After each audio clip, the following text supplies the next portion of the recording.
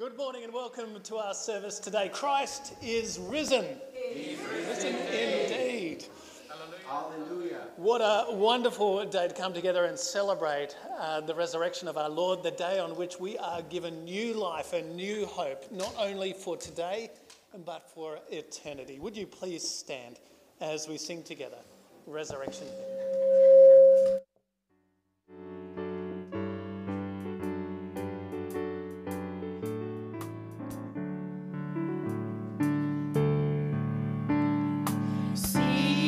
What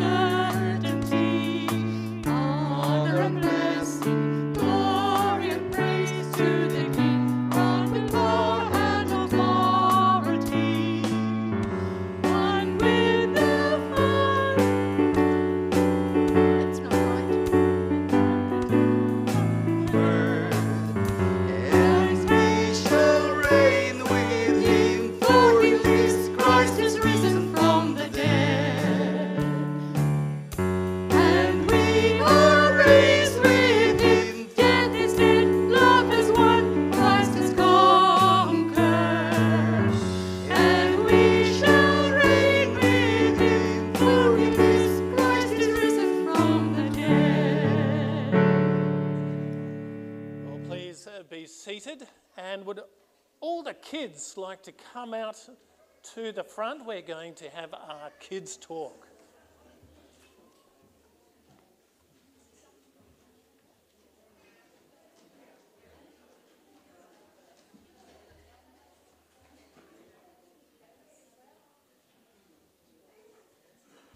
Good morning. Christ is risen.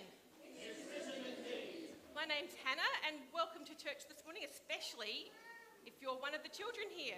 Now, we're going to be retelling the Easter story this morning, so if there's any other children who haven't come down yet who would actually like to come down, please come down. Now, I just said something to the whole church. Did you hear what I said? I said, Christ is Risen. Okay, what does it mean Christ is risen? Because that word's going to be important in our story. Risen from the dead. What does that mean? Did he just hover in the air? No. What was it? He undeadified. Thank you, Micah. Yeah. Death wasn't anymore. He's alive. That's so when we tell this story, when you hear risen, it doesn't just mean kind of standing up, it means alive. Okay, this story that we're going to tell is called The Empty Tomb. Crazy. We're going to stick it here because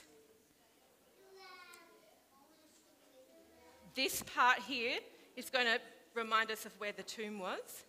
We're going to have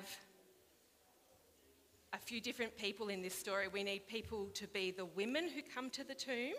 We need two guards who are guarding the tomb.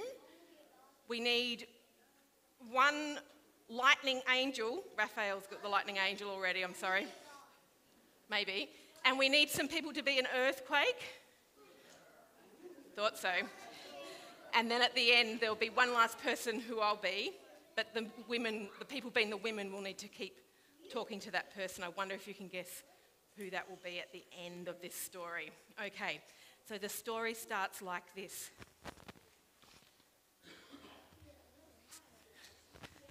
I am, and I'm narrating it from the book of Matthew in the Bible, which is one of the stories about Jesus. So, if all the people who would like to be the women would stand up and walk over with me, and all the people who want to be the earthquake, if you would come and sit here. Who's going to be an earthquake? Yeah, okay, you sit here, Ishka. So you're going to sit on that bit because you're going to need to drum here as an earthquake. Other people are going to join in with Ishka, I can tell. Uh, Micah is going to be a guard, so can you stand here? You can be a guard, stand on the other side. Raf, can you move a bit further over? Guards standing up, nice and strong, like you've got a spear and a sword and a helmet. Stand up. You can't be a guard sit, crouching down. Now, and the women over here with me. Here we go. Come on, women. Thank you very much. Okay, the rest of you can listen to the story. This is what happened. When Jesus died on the cross, there were many women who were watching. They were watching him die and they saw him die, and they were women who loved him, who'd been following him, and they were so sad. Their hearts were broken. The man that they had loved and followed had died. Some of the women who were there was Mary Magdalene and another Mary as well, and some of the other women.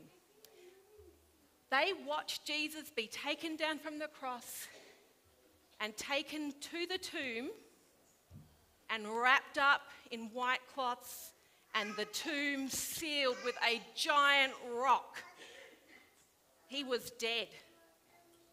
But listen to what happened now. After the Sabbath, at dawn on that first day of the week, Mary Magdalene and the other Mary went to look at the tomb. Come on, women. There was a violent earthquake. Rumble, rumble, rumble, come on. And the stone, uh, sorry, the, uh, and an angel of the Lord came down from heaven. Just put the lightning on. And keep rumbling, come on.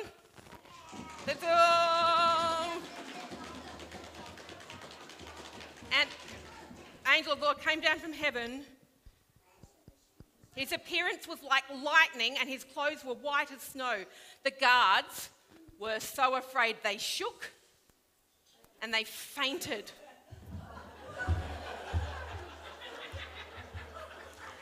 Come on, women. The angel said to the women, We are so afraid. Do not, Go for it. Yep. do not be afraid, for I know that you are looking for Jesus, who was crucified. He is not here, he is risen, just as he said. Come and see the place where he lay. Then go quickly and tell his disciples, He is risen from the dead, and he is going ahead of you to, in, into Galilee. There you will see him. So the women, they hurried away from the tomb, afraid because they'd just seen an angel. Come on, women, they hurried. Do you remember where we're going? Where were they going? To tell the disciples. What were they going to tell? That he was risen. The tomb was empty. There was only clothes in there, no body. Let's go. And they ran this way. Come on, women. Mary, women, They were filled with joy because Jesus wasn't in the tomb. And suddenly, Jesus met them. I'm going to stand in for Jesus at the moment. He said, Shalom, peace to you. And they came to him and clasped his feet and worshipped him. Then Jesus said to them, Do not be afraid. Go and tell my brothers to go to Galilee, and there you will see me. Pardon? It was called Galilee. Yeah, fantastic. Well, sitting down. Big round of applause for all the people playing. You can come and sit down now. Come and sit down. Now, this was such good news. Do you remember how the women were feeling at the beginning? So sad because Jesus had died, and they came to the tomb expecting a rock in front with dead Jesus inside, but they wanted to come anywhere. But what happened instead?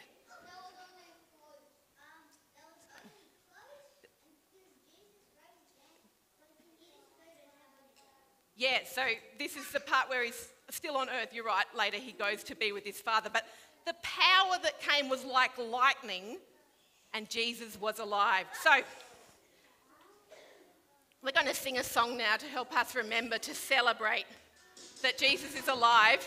Just hang on a second. It's called, what is it called? Someone tell me. He is risen, thank you. And there's that word. There's that word again. So the chorus of the song goes, He is risen, hallelujah, hallelujah, He is risen, hallelujah. And that's the bit where you're going to join in and sing. So who wants a streamer? Yeah, woo. Okay, everyone can join in the song because the words are on the screen. This is for waving, hallelujah. Just find the bit and hold on to the top, and then you can wave it. Yeah, they're little, but they're fun. Good? Okay, I reckon we can start that song. Everyone standing up, ready to wave, hallelujah. It is like a jellyfish. Woo! There's more down there on there. Oh no, that's Micah's. The amazing.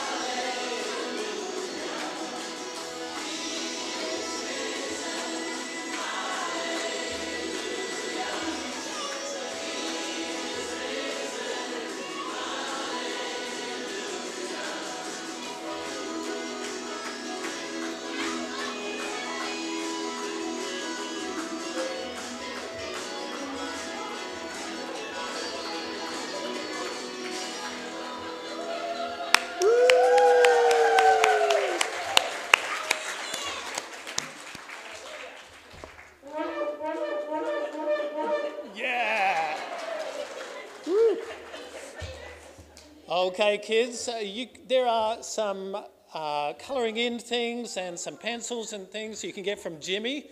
Grab those and head back to your family. And we will take a seat as uh, we pray together of the risen Lord Jesus. Let's pray. Glorious Lord of life, by the mighty resurrection of your Son, you overcame the old order of sin and death to make all things new in him. Grant that we who celebrate with joy Christ's rising from the dead may be raised from the death of sin to the life of righteousness. Through him who lives and reigns with you and the Holy Spirit, one God, now and forever. Amen. Well, we believe that Jesus did die and he did rise again, and that is something that happened in history, but we also believe that it has a profound impact on lives today, right now. And we believe that because we've seen it again and again and again. And so we're going to hear a story of someone for whom the resurrection has changed and impacted their lives now. And so I invite Joseph to come forward.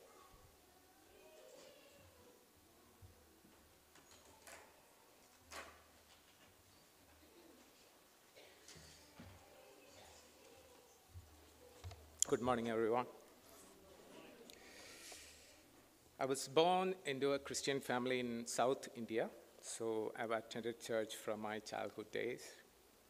First, I'll share my thoughts on what Good Friday and Easter meant to me before I accepted Jesus and how it has changed over the years.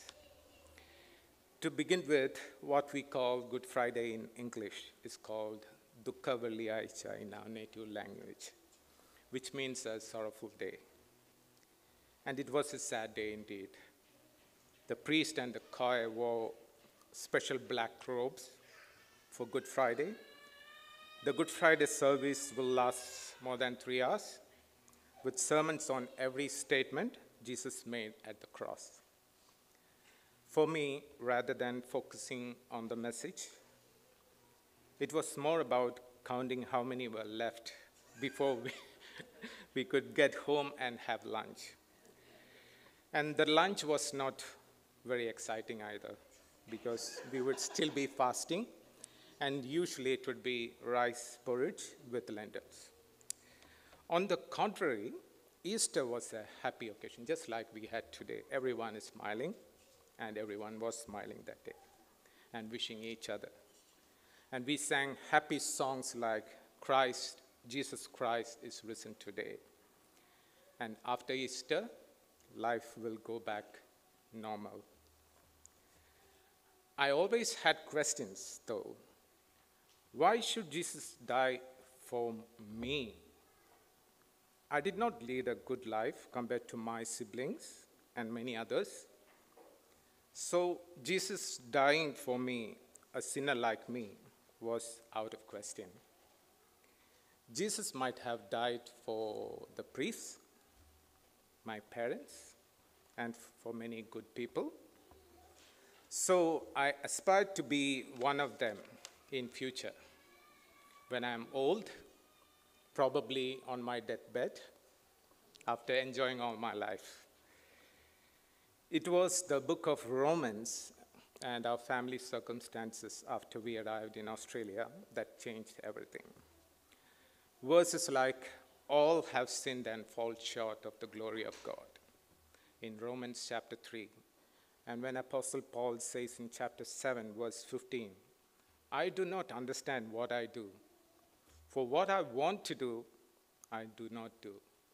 But what I hate, I do. So I understood I had company. Even the Apostle Paul struggled with sin. I started to understand what Jesus said at the cross when he said, It is finished. My sins are being taken care of, so I don't have to worry about my past. What about the future? What kind of life should I lead to ensure God's will for me? What does the resurrected Jesus want me to do? I found answers in the Bible. Everything we need for our salvation is in the Bible. There were ups and downs in my faith life, Many times I lost the first life I had for Jesus. But God never gave up on me, as He promises He will never leave us or forsake. To conclude, the resurrected Jesus wants me to love everyone more than I love myself. He wants me to seek the kingdom first and not worry about everything else. While Satan will ensure that we have enough and more troubles that we don't have time to seek the kingdom first. I reduced my shifts for my second job to study the Word of God, which I did to pay my monthly repayments for mortgage. And I still don't struggle anymore. God gave me heavenly wisdom to complete my master's despite my two jobs. It was really a miracle. Resurrected Jesus also assures me that because he lives, I will also live, even if I die. Resurrected Jesus encourages me to do everything according to his will and all for his glory. Finally, the resurrected Jesus wants me to prepare and be ready for his second coming and help others to be ready. May God help us all to do his will on earth as it is in heaven. Amen.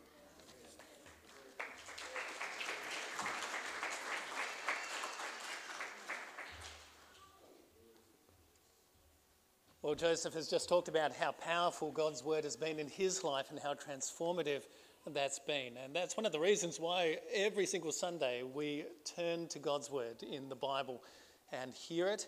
And uh, again and again we see people changed and transformed by it. So I'm going to pray for us as we turn to the Bible now. Let's pray. Heavenly Father, we thank you that you're a God who does not remain silent, but that you speak to us and you've spoken your word into this world and that you are still at work through it. Uh, Father, as we hear uh, your word and as we hear the words of those who saw the risen Jesus on that day almost 2,000 years ago, would you be at work by your Holy Spirit and make those words alive in our hearts and in our minds? In Jesus' name. Amen. We're going to have our first reading from the book of Isaiah. Thank you, Sarah.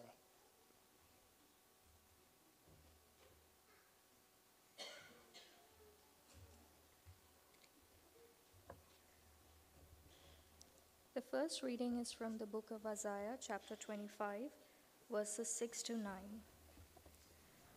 On this mountain, the Lord of hosts will make for all peoples a feast of rich food, a feast of well aged wines, of rich food filled with marrow, of well aged wines strained clear.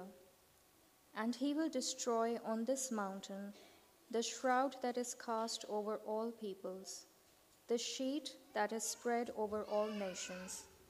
He will swallow up death forever. Then the Lord God will wipe away the tears from all faces, and the disgrace of his people he will take away from all the earth, for the Lord has spoken. It will be said on that day, Lo, this is our God. We have waited for him so that he might save us. This is the Lord for whom we have waited. Let us be glad and rejoice in his salvation. This is the word of the Lord.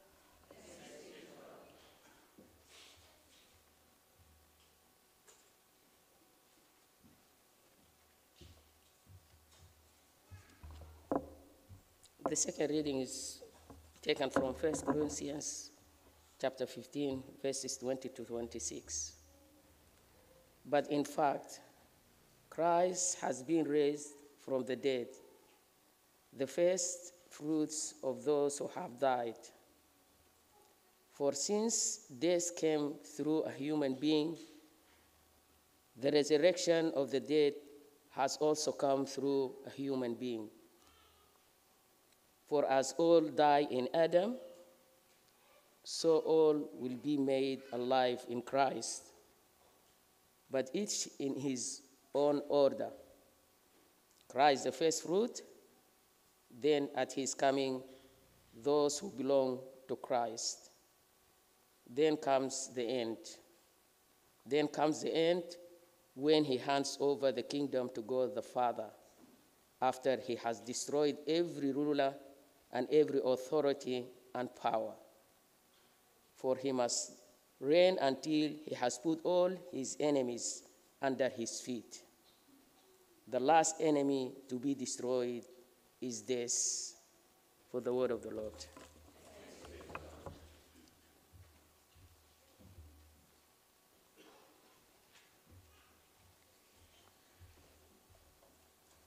Well, the Christian hope, uh, the Christian proclamation is that Jesus is indeed alive. And if he's alive, then he's alive today. And he is King and Lord of all. Would you please stand as we sing Majesty?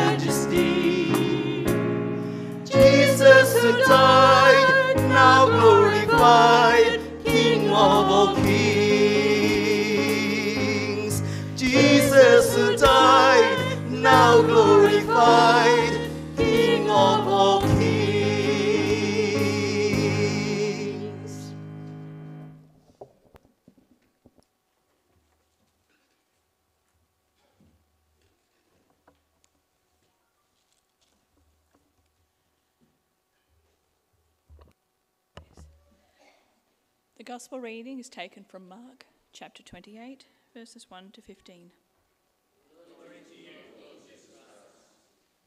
After the Sabbath, as the first day of the week was dawning, Mary Magdalene and the other Mary went to see the tomb, and suddenly there was a great earthquake, for an angel of the Lord descending from heaven came and rolled back the stone and sat on it. His appearance was like lightning, and his clothing white as snow. For fear of him, the guards shook and became like dead men. But the angel said to the women, Do not be afraid. I know that you are looking for Jesus who was crucified. He is not here, for he was being raised, as he said. Come see the place where he lay.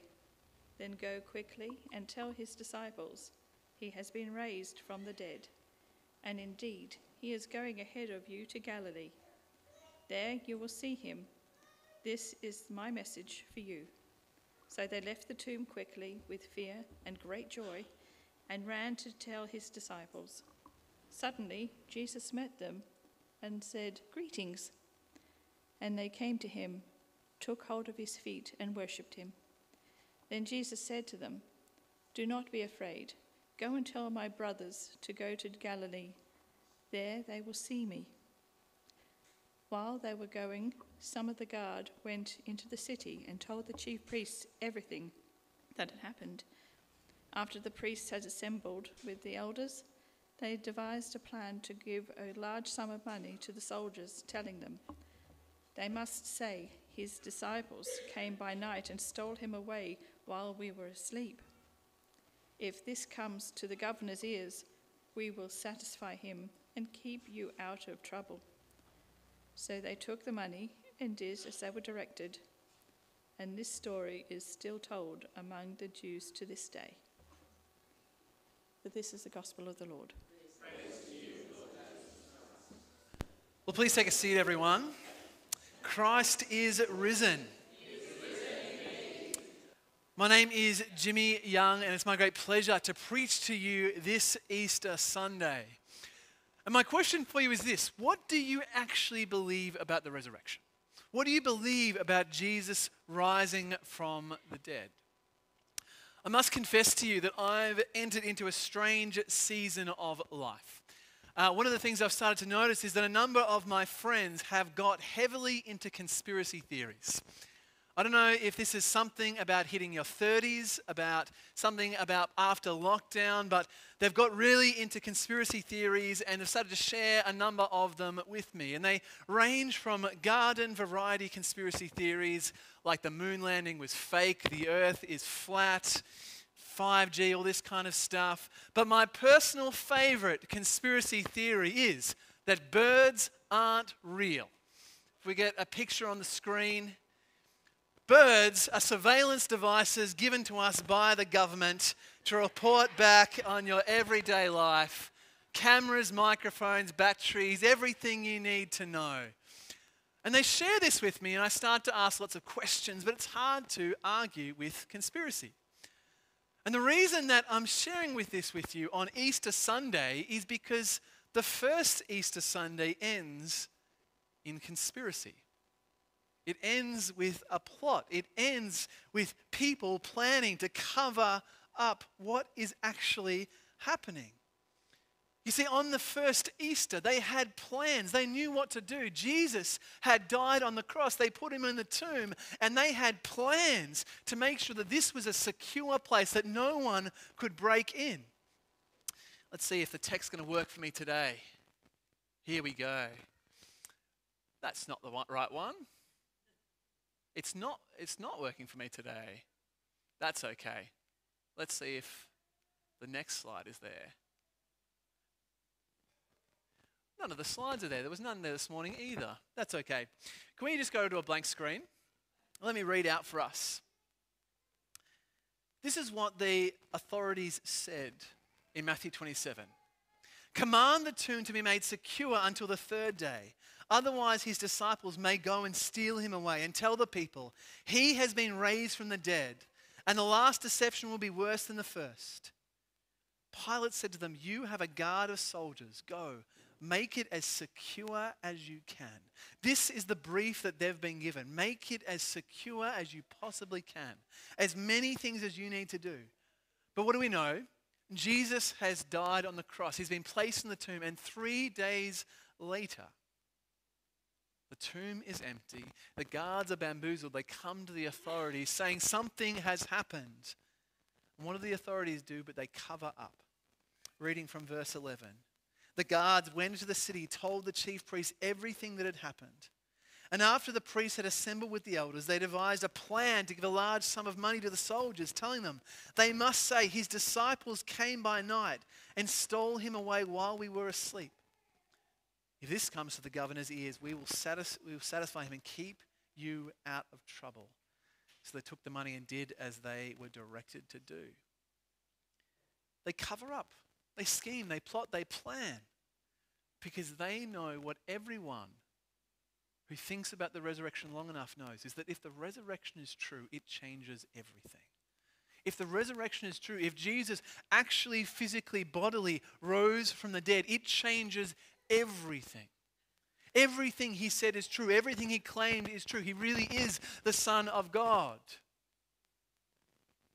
Peter Hitchens, who is the Christian brother of famous and noted atheist Christopher Hitchens, one of the four horsemen of the apocalypse, so noted in the New Atheists, was once asked at the 2013 Festival of Dangerous Ideas, What is the most dangerous idea that you know? And he said, Well, that's easy. The most dangerous idea I know about is the resurrection of Jesus from the dead.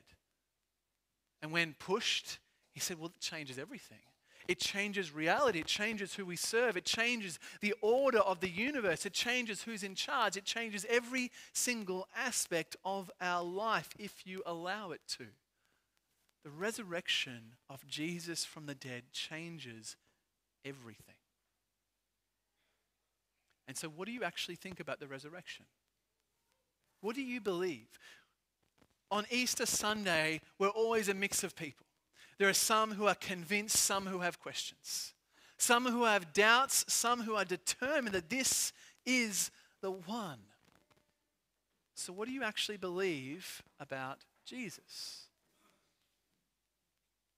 Because I think what we need to explore are three different things. We need to know that the resurrection is true or not. We need to know whether it has any consequences because just because something's true doesn't mean it changes everything. And we need to know whether it actually changes our life. And so I want to spend some time looking at is this true? Does it mean anything? And will it actually change our life? I think there are at least four different facts anyone, Christian, non Christian, avowed atheist, or attend every Sunday, has to agree are true about the resurrection of Jesus. The first is simply that Jesus Christ was actually crucified on the cross. There is no New Testament historian, Christian or unchristian, who doesn't believe that this actually took place. John Dickson, who's a Christian apologist, once put out a challenge that if someone could find a tenured professor of history who doesn't believe that Jesus was actually crucified, he would eat his hat.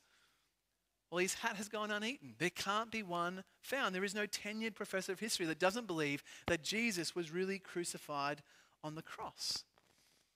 The second fact that everyone agrees on is that three days later, the tomb was apparently empty. The reasons why are discussed, but what generally is agreed upon is that, at least in the four Gospels, the way things go is that one, the tomb is empty, and that at every single turn, women are the first people on the scene. And that makes a significant difference. Why? Because it's strange. The general theory goes out there in the world is that the disciples must have stolen the body or come up with a story. But the challenge is that if they came up with a story, they would have simply come up with a better story. When historians are generally trying to work out whether something is true or false, one of the criterions they include is called the criterion of embarrassment. That if you make up a story, you're not likely to make up a story that is embarrassing for you. We generally make up stories that make us look good, that make us look powerful, important, that seem persuasive. Why would this be embarrassing? It's not embarrassing for the church or for Christians, but in first century Israel, the, women, the testimony of women was not believed. It was not legally binding in court. In fact, first century and second century critics of Christianity often use this as a tool, saying, How could you believe that someone rose from the dead when the only testimony you have is from the women? This was the claim of Celsus, a second century critic. Simply put, if the church was going to come up with a story, they'd come up with a more persuasive story that include different people, people whose testimony could be believed. Yet at every turn, the first people at the empty tomb are women, most likely because that's what happened. So Jesus has been crucified, the tomb is empty, and immediately afterwards, the church starts seeing visions of Jesus, experiences of Jesus, where they claim to see Jesus actually physically, bodily resurrected from the dead. Historian Gerd Lüdemann, who uh, is not a Christian, in fact, we might have his quote on the screen on the next slide, said, It may be taken as historically certain that Peter and the disciples had experiences after Jesus' death in which Jesus appeared to them as the risen Christ. Now, he would say they were just experiences, but the church claimed this universally that they saw Jesus after his death, after the tomb had been closed. And this evidence was strong enough that people who weren't Christians, people who weren't his followers, people like the Apostle Paul, who was killing Christians around this time, or people like Jesus' brother, James, changed their minds and came to know him as the risen Lord. Do you know how much evidence my brother would need to believe that I had risen from the dead? He would need a lot. He knows me. But they had experiences so powerful that changed their minds. And the fourth fact, which no one can deny, is that immediately after they claim to see Jesus raised from the dead, the church explodes in numbers. Which strikes me as odd because at the time of Jesus' death, this is a discouraged, defeated group whose most recent claim to fame is denying Jesus three times and running away naked from Roman soldiers. This is not who you'd choose as your missionaries. This is not who you'd choose to be the bold and courageous number, but something happens. Something happens that turns this ragtag, defeated group of cowards into a bold, powerful, persuasive missionary force, and immediately the church explodes in numbers. I don't know about you, but they don't seem to gain very much. You wonder if it's not actually truth. What's their motive? Because they don't get any more money, they don't get any more fame, they lose relationships, they lose their status, they lose their reputation, they lose, in many cases, their family, and for most of them, they lose their life. My guess is that most of, many people maybe, maybe not most of us, but many people would die for something they actually believe was true. But who's going to believe, who's going to die for something they know is a lie? Who's going to die for something not only that they know is a lie, but something they made up as a lie? You're just not going to do that. You're not going to give up money and fame and wealth and family and inheritance and reputation and your life for something you know is a lie. It's not worth it. N.T. Wright, uh, who's uh, former bishop in England, said that the, the only thing that early Christians gained in the first three centuries of Christianity was opposition, persecution, torture, and death. There's no motive for the explosion in numbers. And so you start to ask yourself the question what's the story that best fits these facts? What's the evidence that best points to the conclusion? And the, the most likely, the most logical for me is that Jesus actually physically, bodily rose from the dead. It explains the empty tomb. It explains the experiences the apostles had, explains the church's number in growth, their willingness to die, is that they actually saw Jesus raised from the dead. It's true. It's true. But just because something is true doesn't mean it'll change your life. We know a number of different true things that we know as information, but it won't change your life. It doesn't change your life that butterflies eat with their feet. That's true. Not going to change your life. But what the church has always believed is that believing in the resurrection has consequences. The resurrection of Jesus is not just a true thing that's happened, it's a true thing that has changed history universally, but also for us. The resurrection has consequences. The resurrection of Jesus changes things. If Jesus actually rose from the dead, it changes everything. The resurrection of Jesus declares that Jesus is Lord, that Jesus is King. If death can't hold him, there is nothing he is subservient to. There is no power on earth that he is under. He is the King. If the resurrection of Jesus actually happened, it declares that God cares deeply, profoundly about justice. Because the last word on Good Friday is that Jesus deserved to die. That's the declaration. This is a man who deserves to die, and yet by Easter Sunday, God's justice has returned. Changed the fact the lie has been replaced with the truth. God's justice has replaced the injustice. The resurrection declares that God's justice will occur. The resurrection of Jesus declares that God's plan for history will remain supreme. There's lots of talk in our culture about being on the right side of history when it comes to a number of different issues. And to be honest, I don't know. I, I'm just not smart enough to know what the right side of history will be in 20, 30, 50 years. I don't know what history will do. All I know is that I want to be on God's side of history. Whatever He says, wherever He goes, that's the kind of history that I want to be a part of because God's plan will not fail. If death cannot defeat it, what can? The resurrection of Jesus declares that Jesus is alive, seated at the right hand of the Father, and is praying for his people, that Jesus definitively cares for us. And not just us, that Jesus cares for you individually. He's praying for you, interceding for you. He cares for you. The resurrection of Jesus declares that he's coming back. That there will come a time where justice will reign, where Jesus will restore all injustices and put them to right, and he will come to judge. The resurrection of Jesus declares that Jesus has eternal life to give.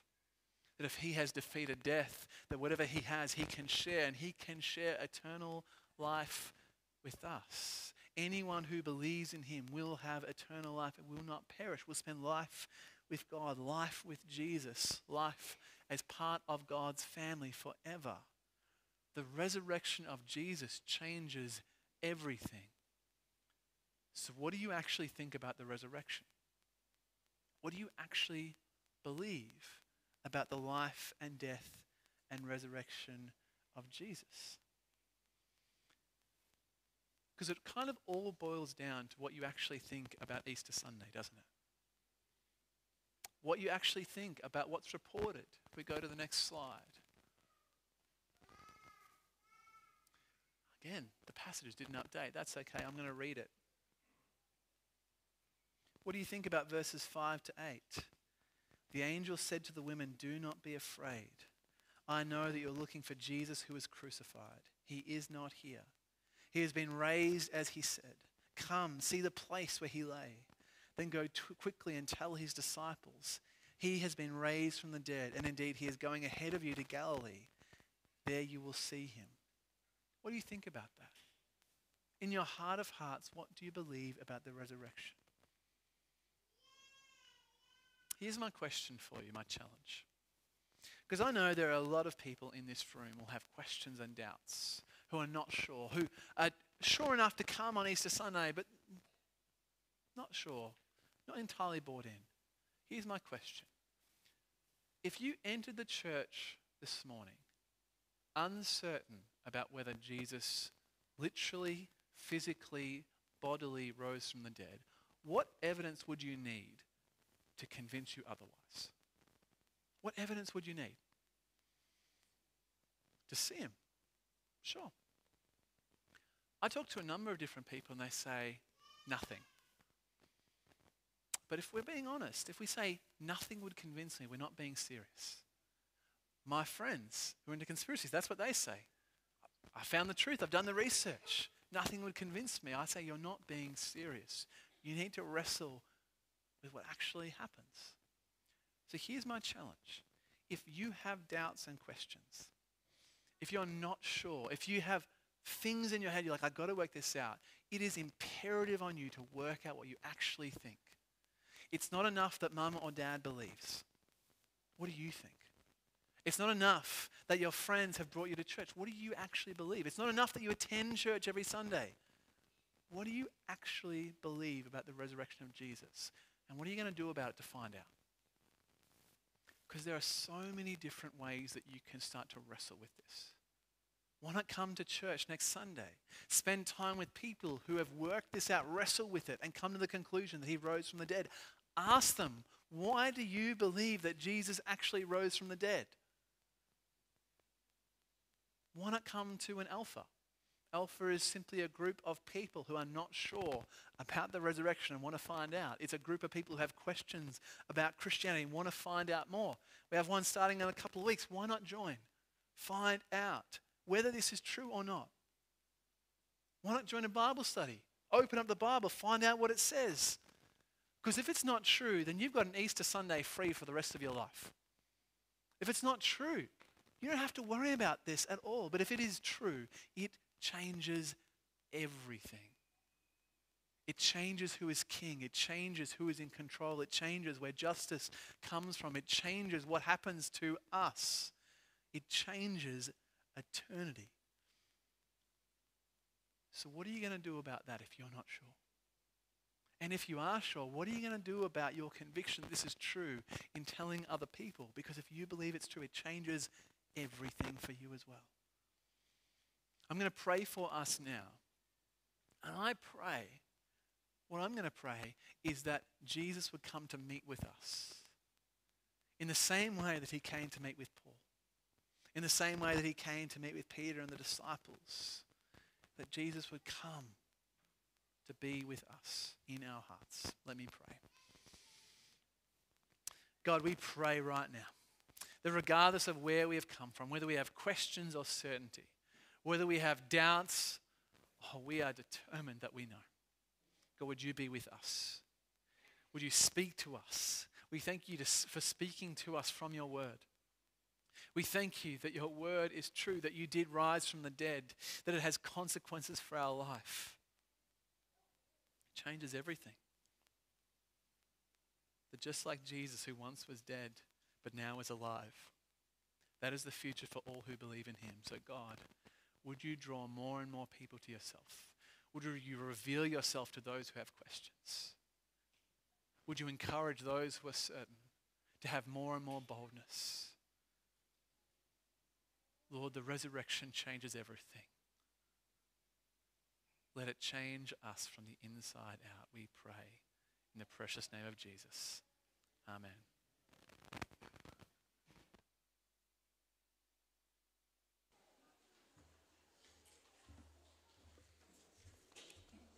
Well, one of the things that the resurrection of Jesus changes is that as he sits at the right hand of God in power, he enables us to come into the very presence of God, the Father himself, and speak with him uh, heart to heart.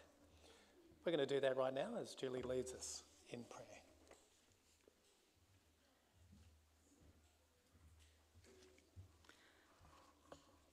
This morning, with our prayers, when I say, Jesus, Lord of life, could you please respond with, In your mercy, hear us? In joy and hope, let us pray.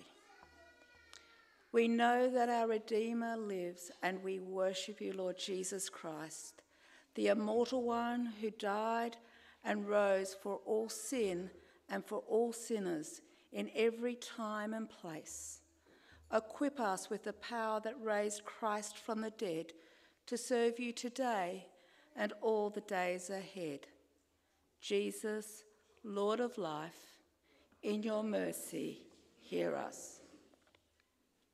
We pray that our risen Saviour may fill us with the joy of his glorious and life giving resurrection.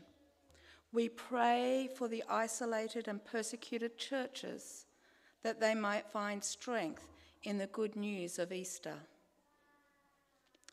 We ask that God may grant us humility to be subject to one another in Christian love, that he may provide for those who lack food, work, or shelter, and that by his power, war and famine may cease through all the world.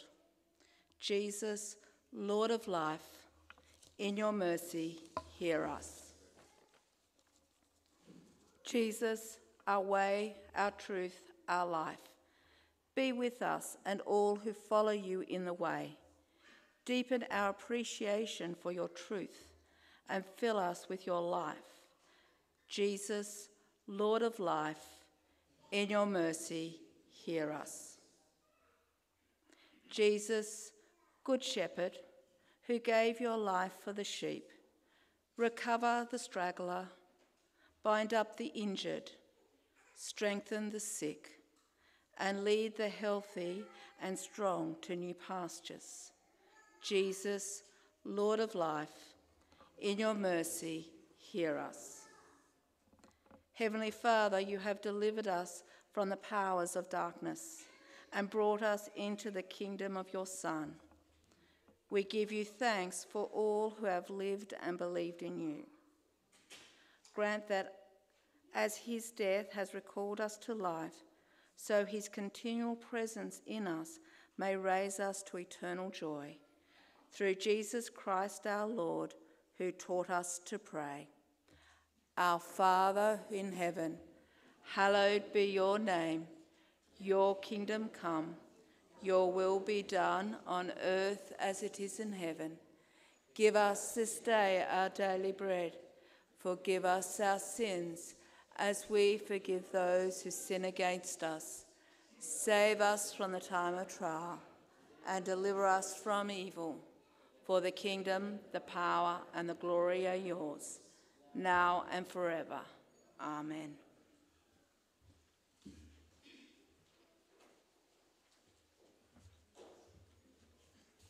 Well, Jimmy said that uh, the resurrection is not just a fact like other facts, like a butterfly eating through its feet, although that is a remarkable fact, which I didn't know before today, so thank you.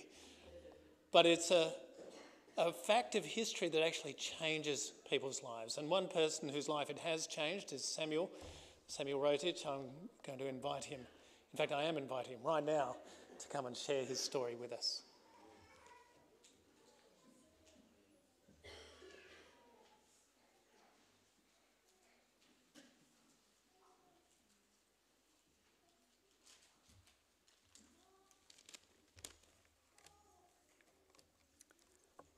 Thank you for giving me this chance to share my history.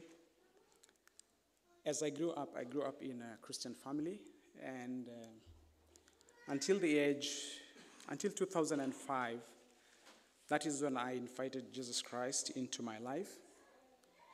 And because of His grace and mercy, uh, He has continued to guide me in, in this journey of faith. Because of this immense love, I chose to share this to others and to my family about this goodness of Christ. And as we celebrate the Good Friday and Easter Sunday, whatever Christ went through in the cross, there's nothing that is comparable in life. And sometimes, as Christians, we go through some situations, and I, particularly us, and even me, and there's nothing that is comparable for that to what Jesus Christ went through. And it's compelled me to keep on soldiering on and trusting in Him in whatever circumstance that comes in life. And as an ambassador, um, I have continued to live a life that is humiliates him in whatever that I do in each and everyday life and impacting on those that I serve in each and daily basis.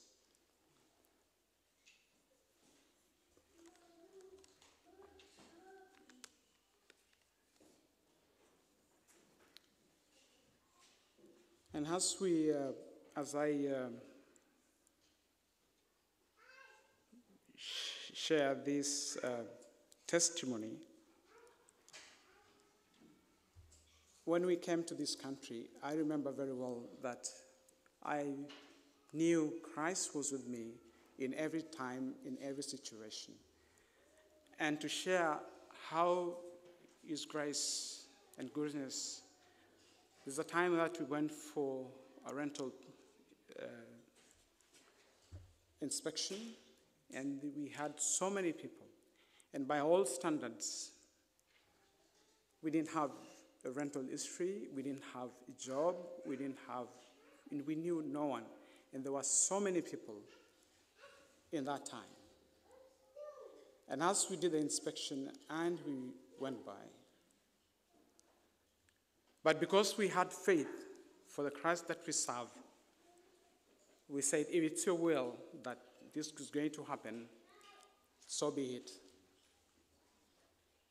And I don't know how it happened, but I think it's by God's grace. Amongst all the people who had, by all standards, by human standard, they had what it takes to have the house.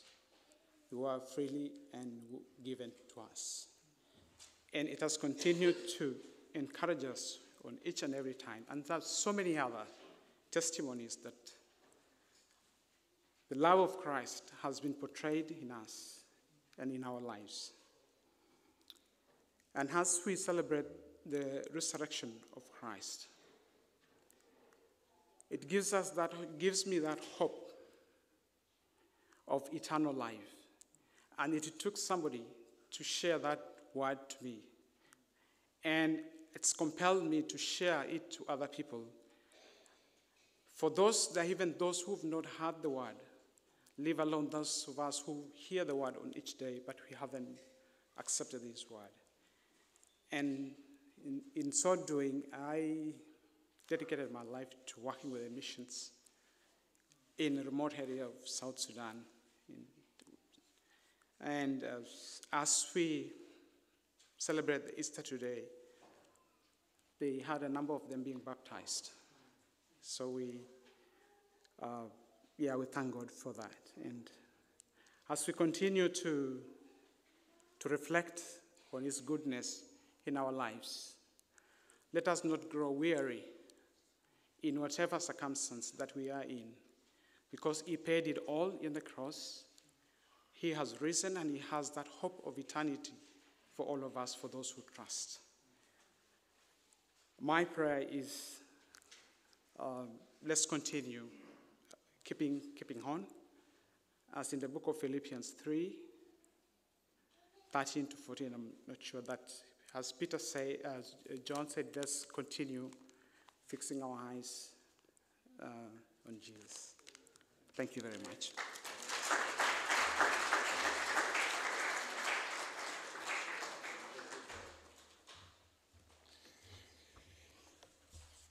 Well, we've been saying that uh, the resurrection of Jesus changes everything. And if you would like to take a step today and uh, step into that new life, there's a very simple way that people have done down through uh, the ages. And in fact, uh, we do every single Sunday ourselves as we uh, refresh ourselves in the new life that's in Christ. We come to God and we say sorry. We say sorry for the ways in which we have not lived for Him. We say sorry for the ways in which we haven't loved our neighbours as ourselves. Christians aren't perfect. Uh, we're forgiven. And we're forgiven in Christ, the risen Lord. And so we're going to say a confession now, even though it's a joyful and wonderful day. This is, in fact, a joyful and wonderful thing that we can bring not only the nice parts of us, but all of us to God and ask for Him to change us and to renew us. If you would like that in your life, please do join with us as we pray this prayer of confession today. And so let us confess our sins in penitence and faith. Merciful God, our Maker and our Judge.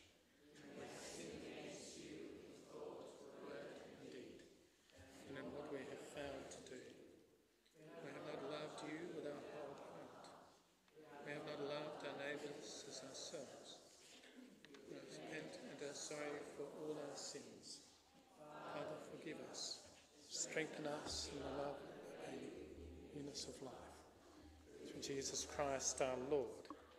Amen. God is slow to anger and he is full of compassion, forgiving all who humbly repent and trust in his Son as Saviour and Lord. God therefore forgives you today, this morning, in Christ Jesus, who is our risen Lord, in whom there is no condemnation. Amen. Well, because we have peace with God, we can have peace with each other. Would you please stand? We are the body of Christ. The peace of the Lord be always with you. Would you turn to one another and say, Peace be with you?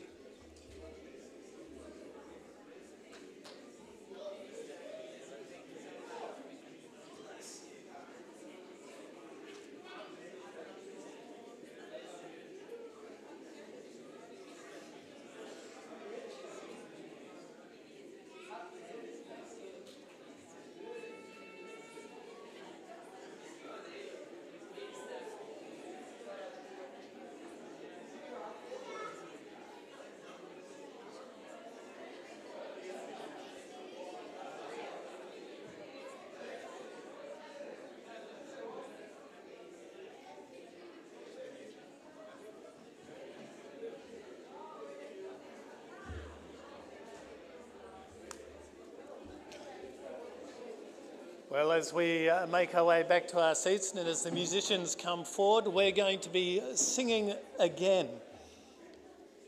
It was finished on that cross. The curse has been broken. Jesus paid the price for me. Full the pardon he has offered, great the welcome that I received. Death was once my great opponent. Fear once held a hold on me, but the Son who died to save us rose that we would be free indeed. Let's sing.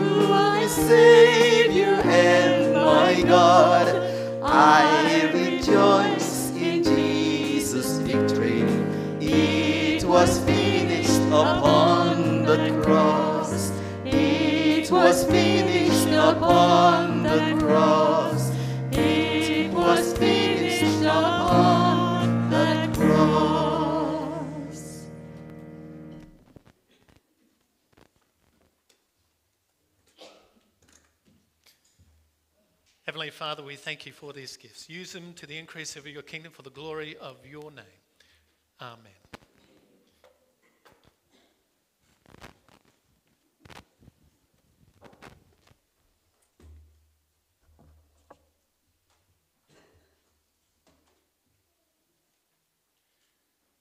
Lift up your hearts. Let us give thanks to the Lord our God.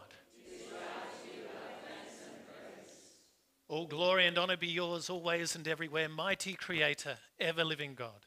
We give you thanks and praise for your Son, our Savior, Jesus Christ, who by the power of your Spirit was born of Mary and lived as one of us. By his death on the cross, he offered the one true sacrifice for sin and obtained an eternal deliverance for his people. And now we give you thanks that you raised him to life triumphant and exalted him in glory. By his victory over death, the reign of sin is ended. The new day has dawned. A broken world is restored. And we are made whole once more.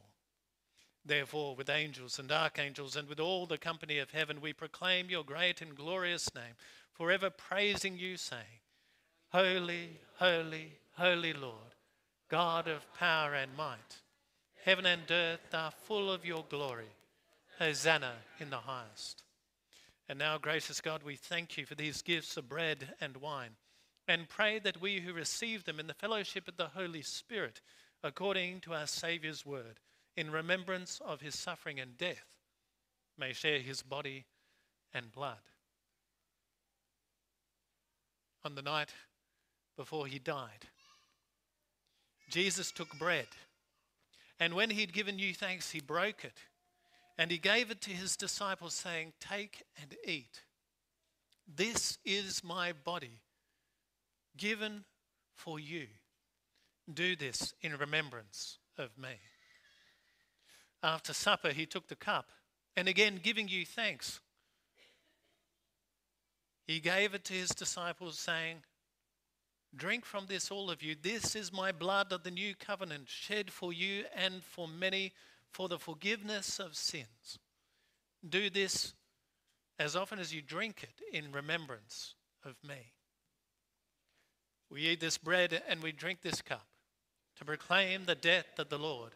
We do this until he returns. Come, Lord Jesus. Father, as we recall his saving death and glorious resurrection, may we who share these gifts be renewed by your Holy Spirit and united in the body of your Son. Bring us with all your people into the joy of your eternal kingdom, there to feast at your table and join in your eternal praise. Worthy is the Lamb who was slain to receive praise and honor and glory and power forever and ever. Amen. Please be seated. And I invite the communion assistants to come forward. Uh, communion is something for those who truly believe that Jesus has risen from the dead and who is living for him as Lord. If you're visiting from another church or you're a believer, you're very welcome to take uh, part in the bread and the wine together with us. If you are still investigating uh, that, or you're here uh, because a friend or family member has invited you, we're so glad that you came and said yes to that invitation. And perhaps this is a time for you to consider uh, the evidence that you've heard of the resurrection of Christ and what the next steps might be for you. Well, brothers and sisters, draw near with faith and feed on Him in your hearts with thanksgiving.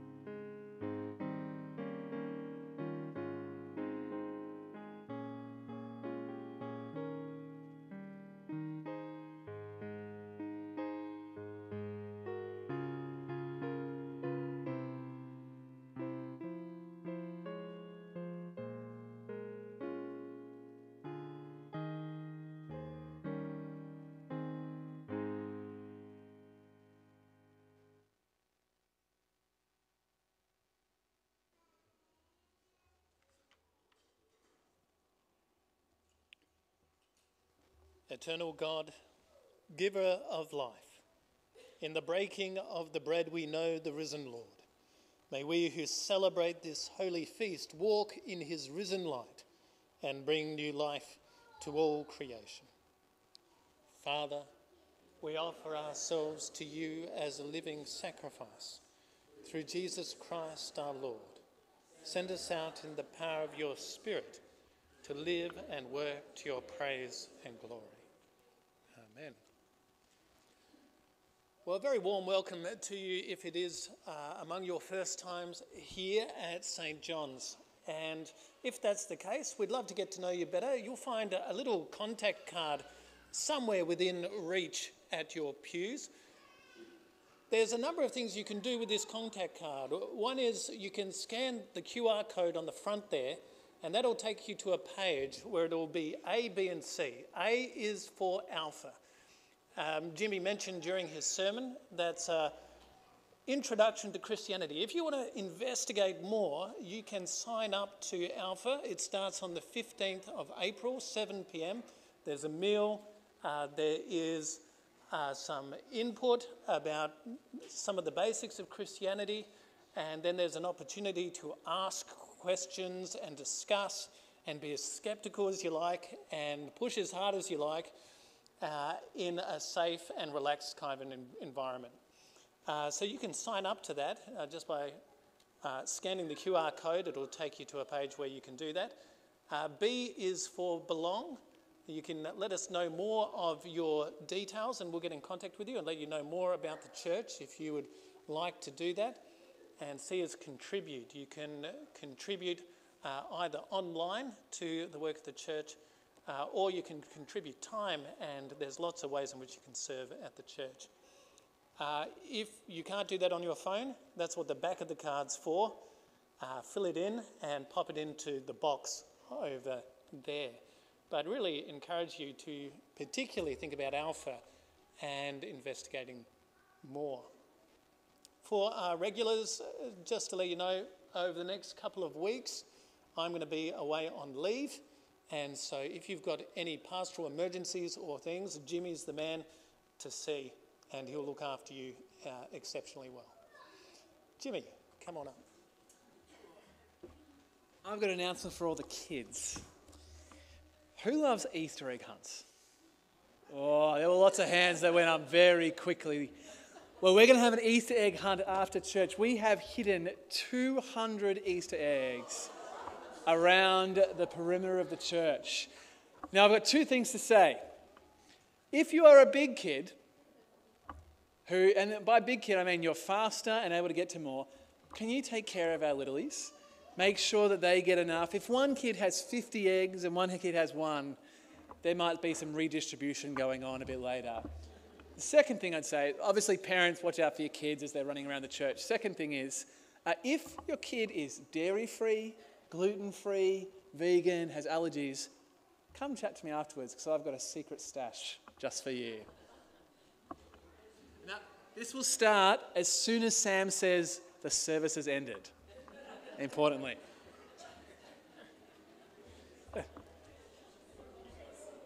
The service has not yet ended. Just faked you out there, kids. Sorry about that. We are going to sing one more time. We're going to sing Thine Be the Glory, Risen, Conquering Son. Would you please stand as we sing?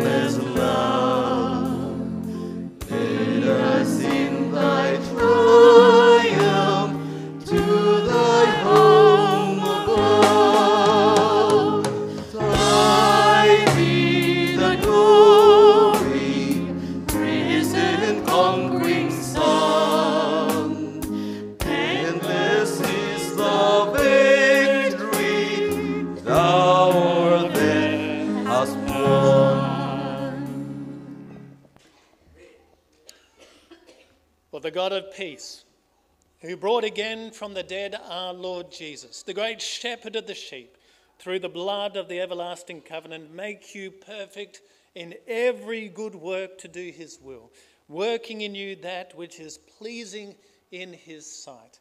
And the blessing of God Almighty, the Father, the Son, and the Holy Spirit be among you and remain with you always. Amen. The service is finished.